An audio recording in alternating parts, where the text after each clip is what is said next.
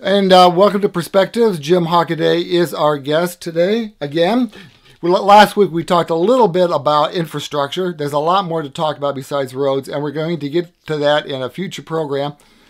But this week I wanted to get into uh, economic development because it seems like there's a lot going on um, in the Conneaut area. And one breakthrough thing I think is the um, the new truck stop, Truck World. What is that? Uh, is that going to pave the way for a lot more going out on Route 7?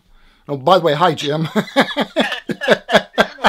hi, Bob. Thanks for having me back. I appreciate it. Um, it's always good to talk with you. Um, yeah, I, I, you know, obviously everybody has seen Truck World uh, being constructed. Um, really want to thank Gary Burke, his family, and his entire team um, that made that possible.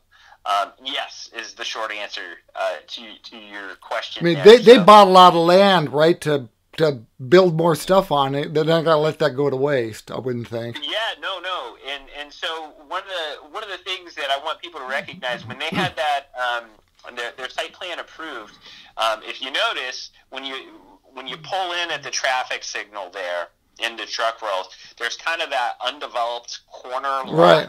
Mm-hmm. Um, that is that is set and decked for um, a couple of outlot, um, most likely quick serve restaurants. Mm-hmm. So um, we're in the process of, of, of helping Gary and his team.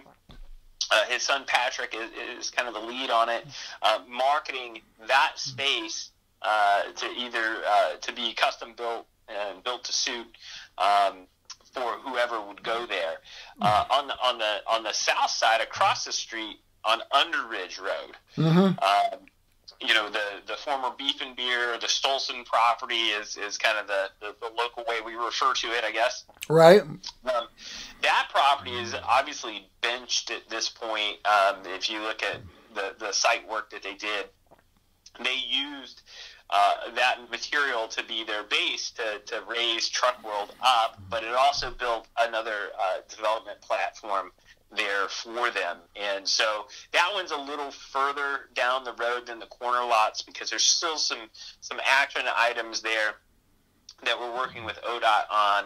Um, and, and the other secret, not so secret, uh, you know, project. Um, this is something we've talked about you know, the Reesburg pipeline uh, came in, you know, mm-hmm. along that ridge line at yes. the top of the hill.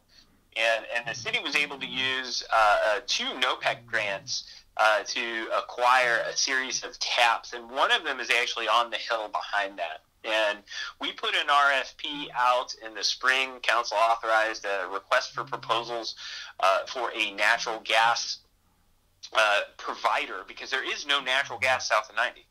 Um, I don't know if anybody knew that, um, but there's no natural gas down there. Dominion doesn't have any assets south of 90. Um, and that was a major, major, major uh, uh, restriction factor for what happens uh, out there. So uh, Love's is actually propane over electric. Uh, that, mm. That's how they heat that facility and heating, you know, 15, 20,000 square feet on yeah. electric is it's an expensive proposition. So it's a it's a, a kind of a market bending opportunity that we be able to build and establish a natural gas utility at that location. Also, a pretty unprecedented move on the part of a municipality to do a public-private partnership with a natural gas uh, provider, a new utility, so to speak, that would not be Dominion.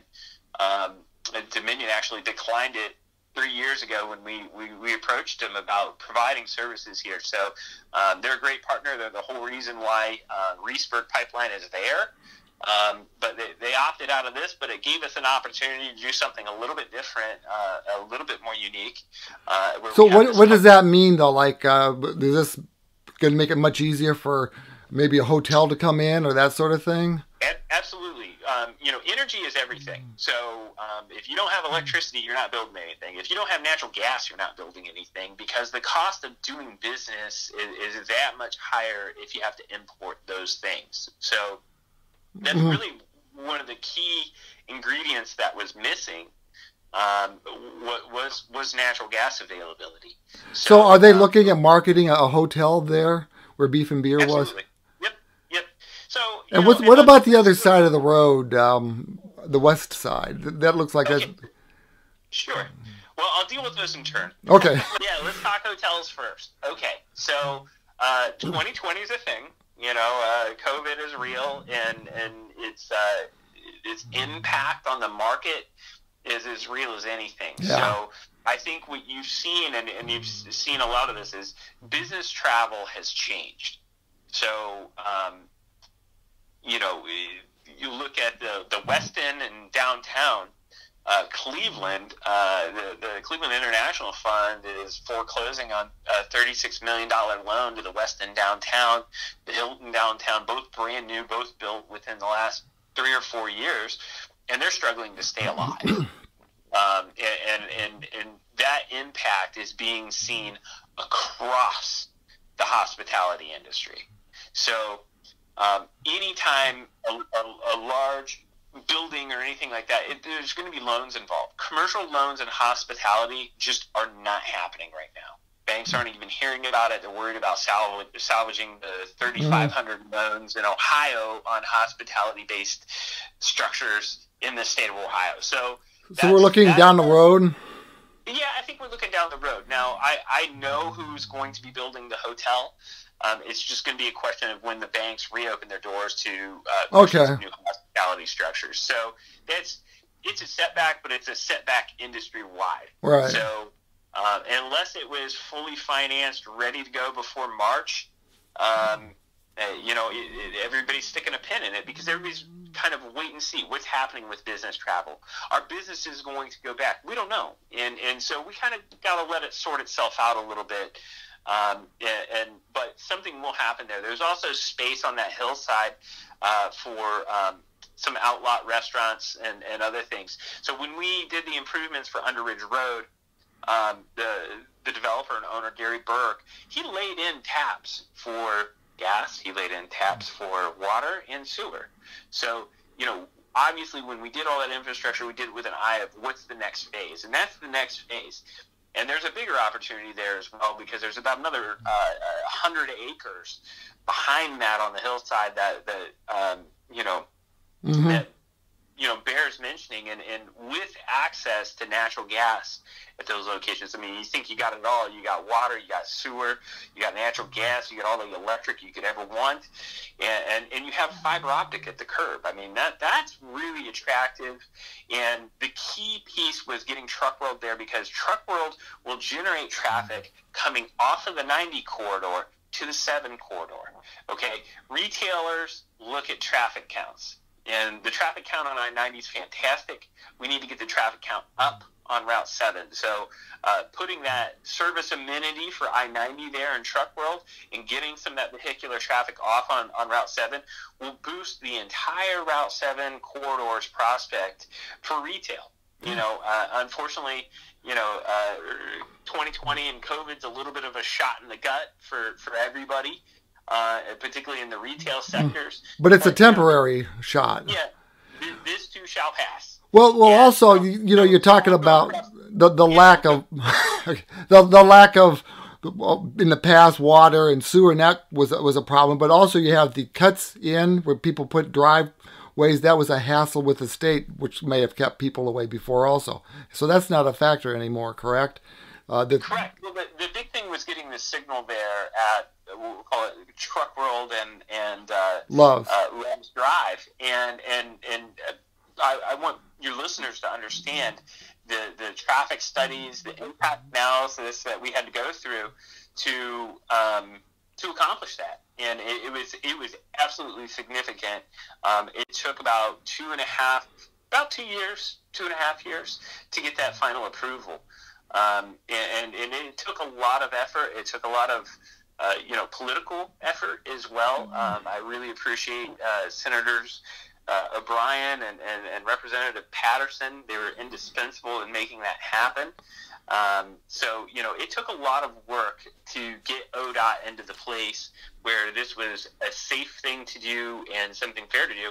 And understand that that limited access, that what that means is just like I 90, the federal government paid for all that frontage. All those property owners got checks from the federal government in the 1960s to say they would no longer have access, a curb mm. cut access to that.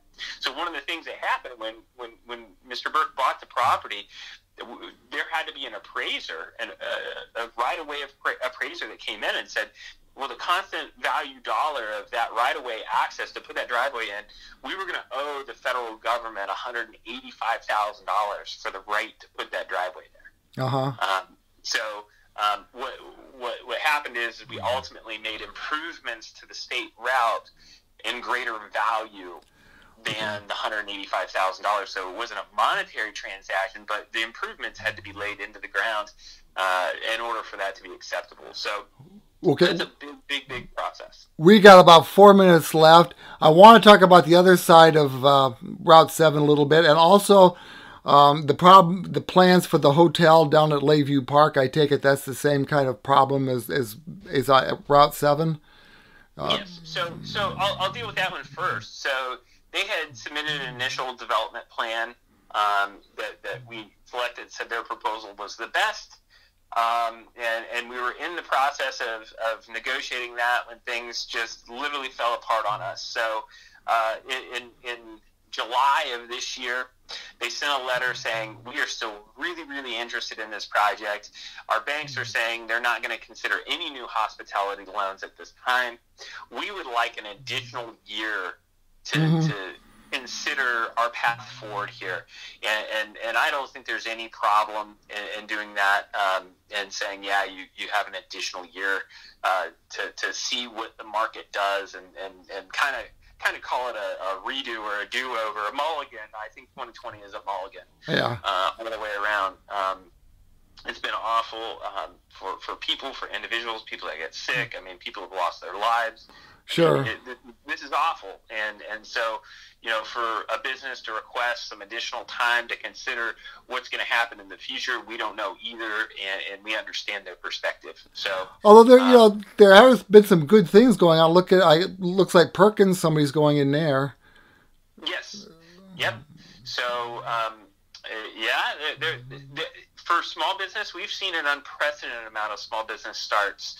Um, you know, uh, we look at the Conneaut Float and Fly and some other things that yes. have gone in.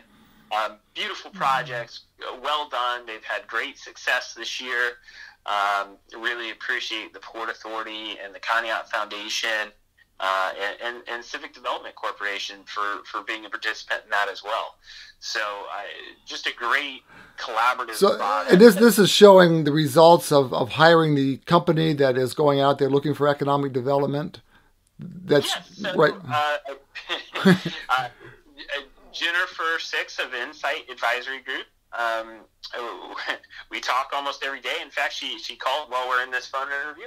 Uh, so we work together incredibly closely. Um, and really, what it is is uh, they're augmenting uh, our, our administrative capabilities um, because honestly, the only person in the city that works on economic development is, is my office. Right. And, and, and we have to do better than that. The other thing is, is it's a collaborative mechanism because she works with the foundation and she works with the Port Authority. It is a collaborative, cooperative agreement.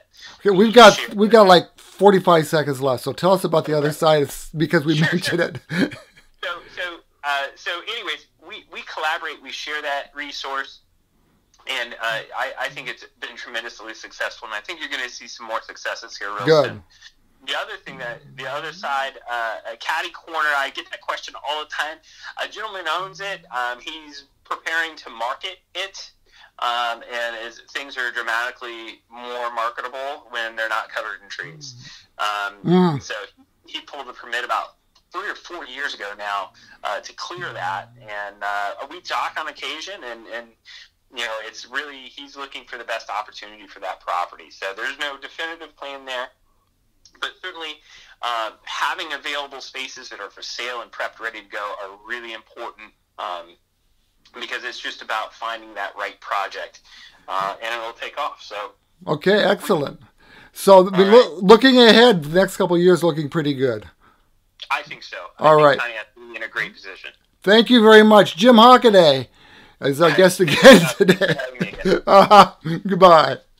I'm Bob Lebzelter on Perspectives.